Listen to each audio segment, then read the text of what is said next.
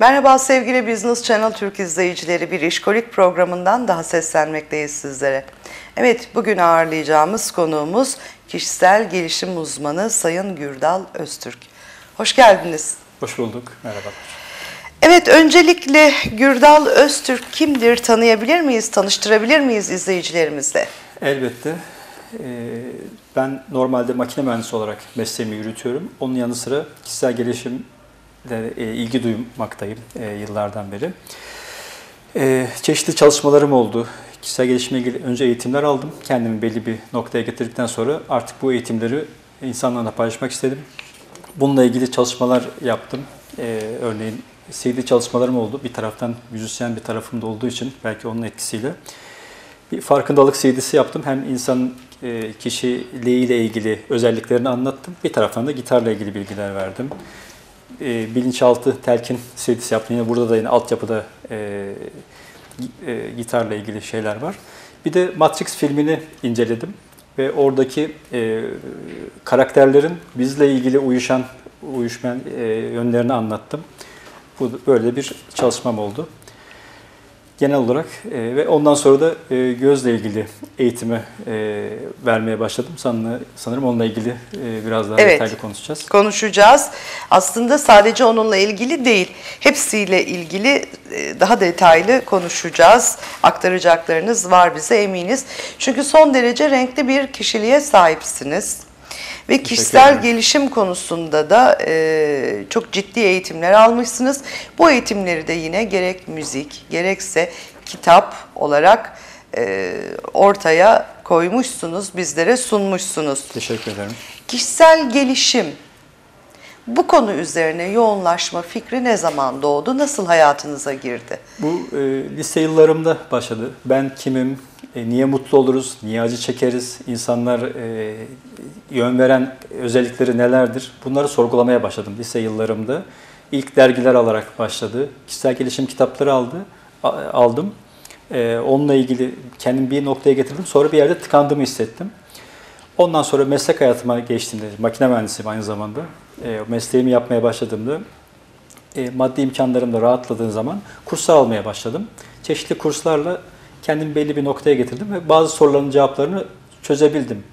Yani e, nedir? Daha çabuk sinirlenmiyorum. Bazı şeylere daha olgunca yaklaşabiliyorum. E, sorunları çözebiliyorum ya da başka birisi kızdığı zaman acaba bunun altında yatan sebepler nedir? Yani kişiyi hemen suçlamıyorum. E, onu buna iten sebep nedir? Onu sorguluyorum. E, yargılamıyorum insanları.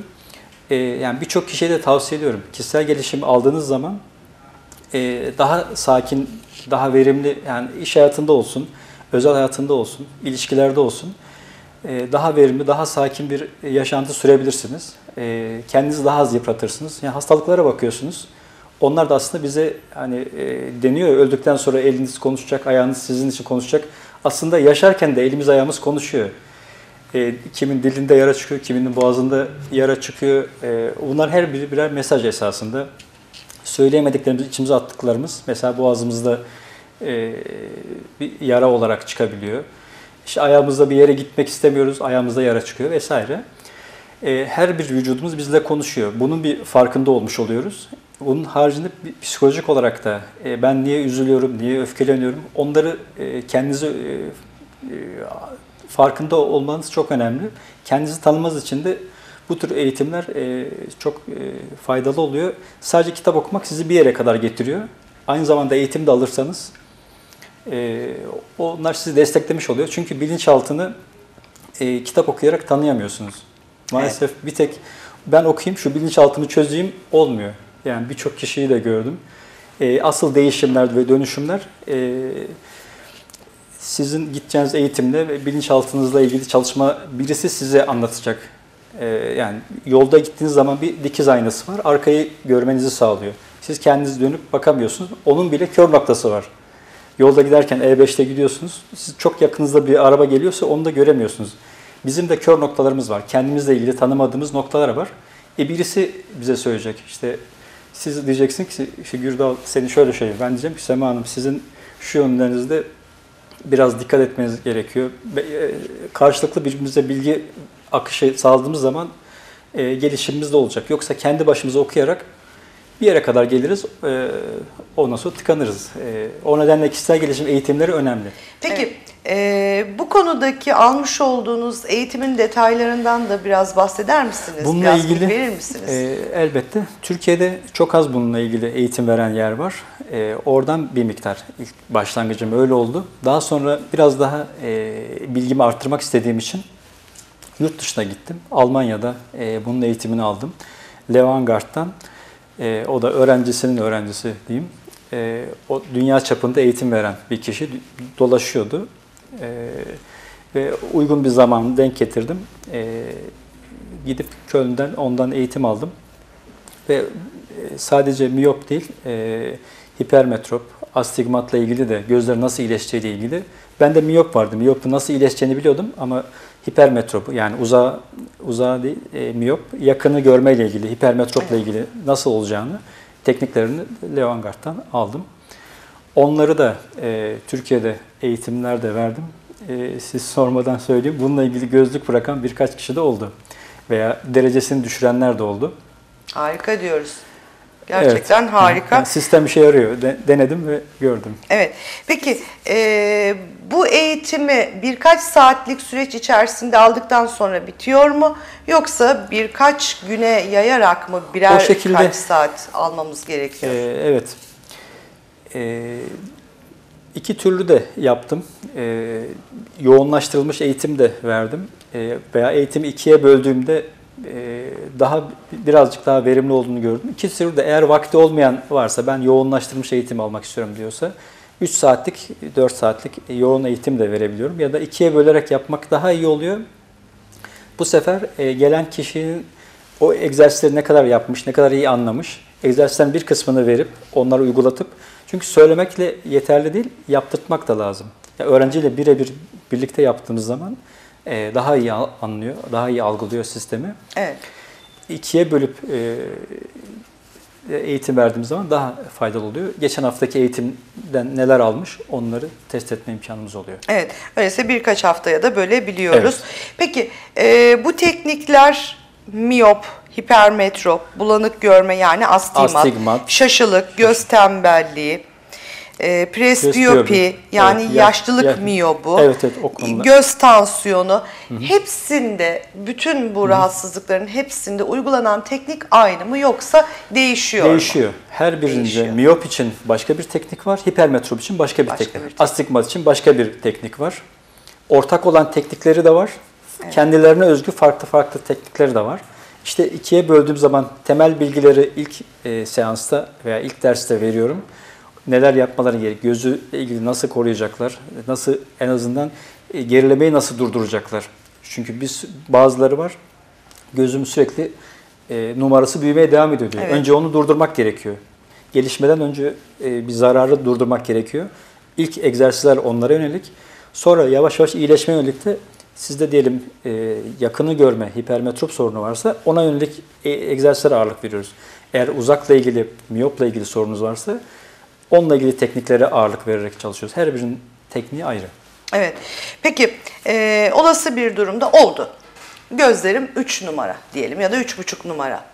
Bunun geri dönüşü var mı yoksa durduruluyor mu? O sınırda mı durduruluyor? Hayır, geri dönüşü var. Bire, tabii tabii gözlük kullanma, bi- bizim iddiamız o. Gözlüğü tamamen bırakmanız. Hedefimiz o yani. Ya da sizin de birlikte hedefimiz o olması lazım. Ee, yani deneyenler biliyor, 3 numara, 4 numara olanların 1 numara veya 1'in altına 0.5'e e, düştüğü oldu, düşüyor. Hedefimiz durdurmak değil, tamamen gözlükten sizi kurtarmak. Tekniği bildikten sonra Evet. e, gözlerinizin sağlığı da yine sizin elinizde Evet. diyorsunuz. Kişisel gelişimin önemi bu işte diyorsunuz işin özünde. Evet, ameliyatsız yani Evet. Bir de yalnız Tabii. enerjiden bahsettiniz. Ee, enerji konusunda da biraz bilgi aktarabilir misiniz? Bunu herkes, yani hemen hemen herkes yapabilir mi? Ben yapabilir miyim? tabii ki. Böyle tabii bir enerjiye sahip miyim? Evet sahipsiniz. Siz pozitif bir insansınız zaten. Ee, öncelikle e, iyileşeceğinize inanmanız gerekiyor ve iyileşen örnekler de var.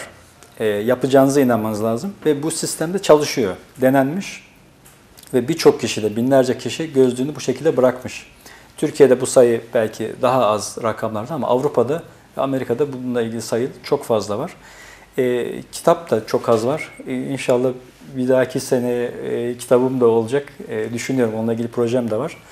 E, Matrix kitabını yazdım. Gö, gözle ilgili gelişim kitabı da yazacağım. E, Türkçe'de yazılmış pek fazla bir kitap yok. Kaynak bulamıyoruz. O örnekler de olacak. Gözlüğü bırakan kişilerin de e, kendi izlenimlerini kitabın sonuna ekleyeceğim. Evet. E, herkes, bu çalışmaları yapan herkesin yaşı ne olursa olsun, dünyada örnekleri varsa e, biz de aynı bedene sahipsek biz de aynı şekilde e, başarabiliriz. Evet biz de heyecanla bekleyeceğiz kitabınızı. Bu arada e, kitabınızla birlikte kitabınızın yanında iki ayrı CD var. Evet. Onlardan da biraz bahsetmeniz mümkün mü? Tabii bu ilk yaptığım çalışma farkındalık bilgisi diye. E, bu insanın üç tane yönünü anlatıyor. Ben kişisel gelişimle ilgili, bu dinde de vardır, e, Kur'an'da da vardır, e, felsefede de e, bulabiliriz. Bedenimiz, zihnimiz ve ruhumuz, biz üçünün bileşkesiyiz. Peki bu nedir? Bunu söylemiş olmak yeterli değil. Beden ya da bilinçaltı e, mantıklı bir tarafımız var, bir de ruhsal yönümüz var. İşte enerjisel tarafımız var, enerji bedenimiz var. Bunları burada e, bir saat şeklinde anlattım tek tek e, madde madde. Ve kişisel gelişim teknikleri de hangisi hangi gruba giriyor? Bir de oturup onu da tasnif ettim. Bir mühendis olarak içinde de tasnif var. E, bir tablo hazırladım. Şu teknik, şu bilinçaltı ile ilgili, bu teknik, işte mesela nefes teknikleri bedenle ilgili, e, NLP teknikleri bilinç, zihinle ilgili, işte R2 gibi enerji teknikleri ruhsal ya da meditasyon ruhsal teknikler. Bunların farkı ne? Uzun uzun burada anlattım. Peki e, o doneyi, o CD'yi her yerde bulabiliyor muyuz? E, şu an kaldığımı bilemiyorum. E, dağıtım şirketlerine verildi. Evet. E, ama şu an internetten sanırım bulabilirler. E, mağazalarda ne kadar ne kadar var bilemiyorum. Çünkü ulaşmak isteyen izleyicilerimiz mutlak surette bu araştırmaya gireceklerdir. Öyleyse internet üzerinden e, ulaşabilirler ve CD'leri e, temin edebilirler diyoruz. Evet. Peki bunun dışında göz eğitimi e, almak için size nasıl ulaşılabilir? Sosyal ağları ne kadar sıklıkla Tabii, kullanıyorsunuz? Facebook hesabım var. Oradan ulaşabilirler bana. Ee, internet sitem var. görselgelişim.com. Oradan ulaşabilirler veya direkt arayabilirler de. Telefon numaramız bilmiyorum. Ee, evet yayında, yayında danışma hattı olarak geçmektedir evet. telefon numaralarınız. Hı hı. Ee, İstanbul'dasınız. İstanbul'da eğitimlerinize evet, devam ediyorsunuz. Ama başka bir şehirde çağrılırsam e, bu ay sonunda Bursa'da e, eğitim olacak. Zaman zaman şehir dışına da çıkıyorum. Evet. Ee, burada olursa tabii ki İstanbul'da sürekli eğitimlerim var. Evet. Hem siz çağrıldığınızda yetişebiliyorsunuz, gidebiliyorsunuz. Hem de isteyenler sizi ziyaret edebilirler, edebilirler İstanbul'da. Tabii Doğru tabii, mudur? Tabii bana ulaşıp evet bilgi alabilirler rahatlıkla. Peki bütün bunların dışında kişisel gelişim konusunda e, verimlilik arttırmak üzere kurum ya da kuruluşlardan gelen teklifleri nasıl değerlendiriyorsunuz? Teklifler geldiğinde e, ben aynı zamanda e, ISO 9001 kalite yönetim e, baş denetçiliğim de var. E, şirketlerle ilgili o çalışmayı da yapmıştım. Mühendislik tarafımla ilgili. E, o bilgilerden de destek alarak e, onların uygulanması ile ilgili bilinçaltı engellerimiz ne? Onunla ilgili de çalıştım. Zaten şirket içi farkındalık seminerleri ve stres yönetimi seminerleri de verdim. Böyle bir teklif geldiğinde şirketin yapısına bakıp özellikle yönetim kısmı ile ilgili e, eğitimler e, verebiliyorum. E, onların sorunlara yaklaşımı, çünkü şirketin gelişimi, kişinin gelişimi kendi zihnimizin karar vermesiyle biz gelişiyor isek, şirketlerin de yönetim kısmı karar verdiği zaman şirketler yükseliyor, gelişiyor. Yönetim kısmı da zihindeki pürüzleri attığı zaman işte SWOT analizi olur, başka teknikler olur. Onlarla şirketin ve dünyanın, Türkiye'nin e, durumu ile ilgili e, bir perspektif oluşturduklarında daha net kararlar verebiliyorlar. Evet. E, böylece gelen taleplerde de evet onlara da bu tür eğitimleri vermeye hazırım diyebiliyorsunuz tabii, tabii. ki vermeye de devam ediyorsunuz tabii, zaten. Tabii şirket içi eğitimlerim oluyor. Evet. Çok şirin bir gitarınız var. Ve gitarınızla gelmişsiniz. Ee, madem Evet. gitarınızla geldiniz, sesinizi de duyalım. Gitarın sesini de bir duyalım diyoruz. Ben, e, Sizden rica ediyoruz. Gitarın sesini duyun, benim sesimi duymayın. çok, çok müthiş değil. E, Peki ses de geliştirilebilir mi? ses de tabii onu, orada da kas var. Onun da çalışmalar, egzersizler var. Ben onu vermiyorum ama e, ses eğitimi veren arkadaşlarımız da var. E, sesini de işte yükseltip alçaltıyorlar, düz ses yapıyorlar. Çeşitli e, diyafram teknikleri var. O ayrı bir konu. O alana ben girmiyorum. Ama insan bedeninde, bünyesinde her şey var. Yeter ki farkına varabilelim Varalım ve, ve geliştirelim. çalıştırdığınız zaman o konuda hangi konuda u- uğraşırsanız o konuda gelişiyorsunuz. E, neyle ilgili? Sesinizle ilgili olabilir, gözünüzle ilgili olabilir. E, işte gitarla ilgili olabilir. Neye merak salıyorsanız, e, zaman ayırırsanız, eğitimini alırsanız her şey yapabilirsiniz. Buyurun. Kısa bir şey çalayım e, Lütfen. gitarla ilgili. Çok